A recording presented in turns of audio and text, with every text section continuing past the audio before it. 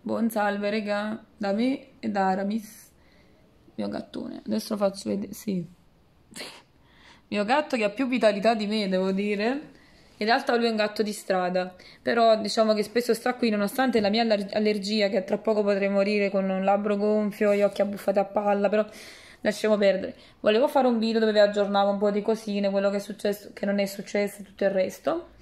E uh, eccoci qui. Ho tagliato i capelli per l'ennesima volta e odio questa cosa perché ce l'avevo lunghissimi. Da quando me li hanno tagliati non riesco più a farmi crescere. Speriamo che ritornino alla lunghezza di prima. Questo è l'ultimo dei miei problemi del periodo perché è un periodo abbastanza complesso, lasciando stare tutte quelle rotture di palle con il mio ex fidanzato che ne parliamo proprio, ce la prendiamo e buttiamolo via come se fosse una sacchettina della munnizia. Diciamo se a qualcuno interessa faccio un po' più un video sulla storia che ho vissuto, se, cioè non voglio fare sempre discorsi su di lui, però diciamo che se può aiutarvi a chi sta affrontando un percorso con una persona tendenzialmente borderline narcisista, perché sono persone che comunque tu eh, riesci a capire dopo molto molto tempo perché sono bravi a nascondere le cose, quindi posso raccontarvi quello che mi è successo se vi interessa. E magari se si può aiutare qualcuno che sta in una stessa situazione perché non è facile uscirne e non è facile riprendersi anche dopo perché è una bella ammazzata, posso assicurarvi che a livello psicologico è devastante andando avanti su questa cosa, non contenta, io ho questo, in questo anno bellissimo che è il 2020, uh, eh, oltre a questo simpatico coronavirus che ci ha rotto un po' le palle a tutti, uh, io ho scoperto anche un'altra malattia quest'anno che ho scoperto di avere endometriosi, anche di questo se volete vi faccio un video a parte. È una malattia abbastanza invalidante a livello ginecologico che ho sospettato di avere da tanti, tanti, tanti, tanti, tanti anni e fortunatamente ho scoperto di non essere pazza, cioè ho scoperto di non avere problemi psicologici, ma avevo una malattia vera e propria che avanzava sempre di più e che è abbastanza invalidante. Infatti ci sono delle, delle rinunce che devo fare ogni tanto, perché molte cose non le posso mangiare e questa cosa mi rende molto nervosa. A parte questo sono contenta perché finalmente ho imparato anche a sfanculare le persone, perché tante volte nella mia vita tendevo sempre un po' a accantonare i problemi e magari a scappare dalle cose. Invece, diciamo, crescendo ho capito un po' che cioè, anche attraverso questa esperienza di merda mi sono messa un po' a contatto con me stessa, perché poi come se non bastasse lui, anche delle amicizie si sono rivelate una merda e quindi mi hanno dato il modo di riflettere su me stessa, sulle mie scelte e anche di prendere di petto queste situazioni e di mandare a fanculo chi mi stessa a creare, diciamo, negatività nella mia vita, perché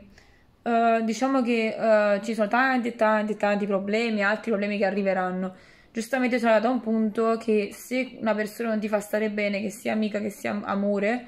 devi mandarla via. Perché ci sono troppi problemi, non ti puoi piare, cioè ti devi, non ti puoi infelicitare per ogni cosa. Quindi l'importante è cercare di stare bene. Ho toccato veramente il fondo tante e tante volte, questa volta veramente tanto. Cioè, mi sono vista veramente avvilita perché ovviamente toccare le tue parti più profonde e andare a scontrarti un po' con eh, i vecchi traumi, perché comunque ho dovuto toccare veramente con mano le cose che ho passato,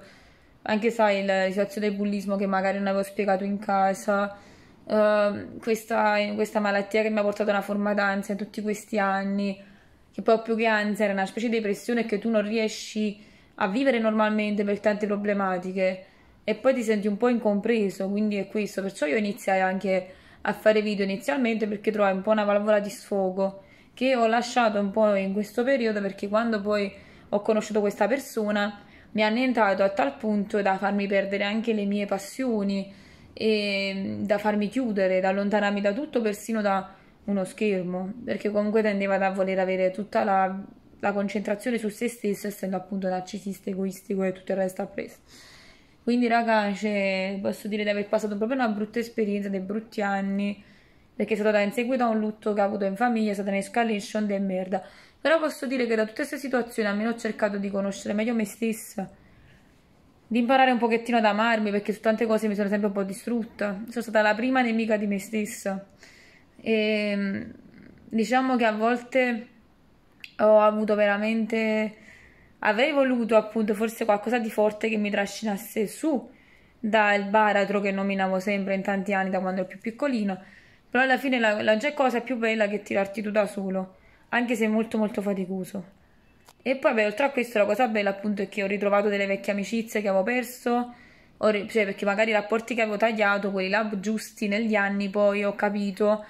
che uh, potevo recuperarli e che magari potevo mettere una pietra sopra a cose che erano successe anni e anni prima. Invece a rapporti nuovi che avevo conosciuto, alcuni mi sono data veramente bene, come dicevo anche nell'altro video, l'amica eh, mi ha fatto amicizia con l'ex del mio ex fidanzato e quindi diciamo è stata veramente una bella scoperta, come anche quest'altro mio amico che è decoratore, oppure come anche delle amicizie virtuali che io ho avuto, soprattutto nel periodo bruttissimo del mio ex fidanzato. Io ho un mio amico del nord Italia che non, non ho mai conosciuto, che però diciamo mi è stato molto vicino e quindi